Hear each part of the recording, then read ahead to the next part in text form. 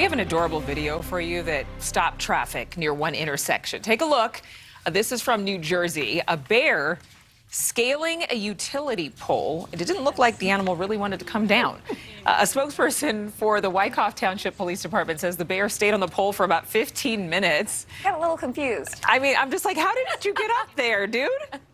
How do climb a pole when you're a bear and you're slippery, aren't I don't you? see a honey hive up there. I was thinking, how does he confuse that or she? I, I think it's a all the female time bear.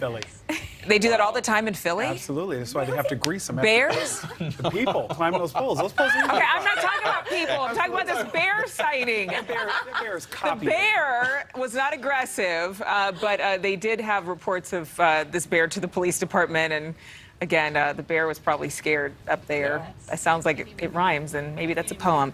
Uh, the second bear sighting in New Jersey this month, which is very rare. All right, well, it's time for our American Snap. Thank you so much for watching. Make sure to click on the red subscribe button below so you can get more of NewsNation's fact driven, unbiased coverage.